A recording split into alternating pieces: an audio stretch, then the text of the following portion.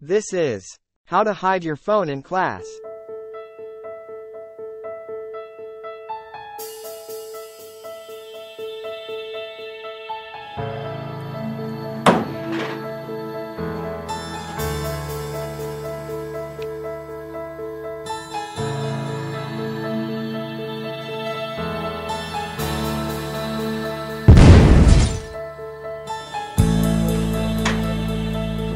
No phones in class!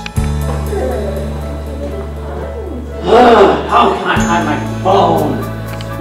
I know how!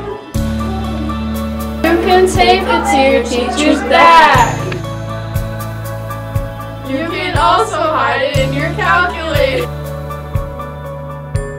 Or you can tape it to the ceiling.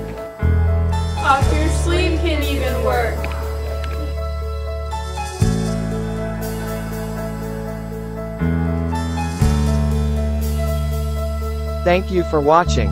Here are some bloopers for you to enjoy. I didn't know what we were saying. Okay.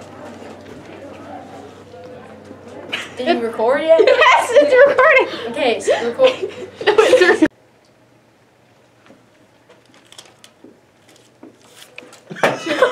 Oh, that!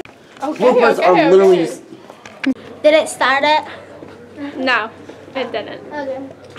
Again, thank you for watching.